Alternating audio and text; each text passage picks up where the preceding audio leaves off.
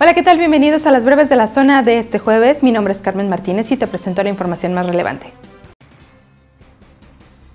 Pese a la pandemia, la violencia homicida contra elementos de seguridad en Guanajuato no paró. Al contrario, se recrudeció y se concentró en la ciudad de Celaya, en donde hay un foco de violencia relacionada al crimen organizado. Así lo advirtió David Blanc, investigador de la organización Causa en Común, quien incluso afirmó que pareciera que es un ataque sistemático a la corporación de policía. Guanajuato ha ocupado el primer lugar en policías asesinados. Ha ido a la alza. De 2018 a 2019 hubo un incremento en el total del año de 63 a 73. A la fecha se tienen 36 casos, lo que representa el doble si se toma en cuenta el mismo periodo pero del año pasado cuando apenas se habían registrado 17. Grupos de ciudadanos a favor de la vida hicieron una caravana de autos y manifestaron su apoyo para todos aquellos que no se pueden defender.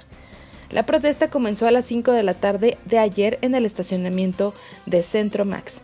Cientos de vehículos llegaron con familias enteras para demostrar su alegría luego de que la iniciativa de despenalización del aborto será archivada el día de hoy.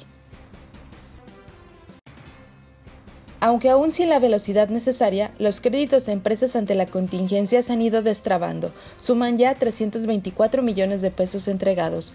Se espera que la siguiente semana se culmine con el análisis de 1.900 expedientes previamente registrados y que cumplan con la entrega de recursos. Ismael Plasencia Núñez, presidente de la Confederación de Cámaras Industriales, compartió que no se trata de una crítica a Fondos Guanajuato, ya que la dependencia no tenía el personal para enfrentar un programa así. Sin embargo, aseguró que está la promesa de que avancen.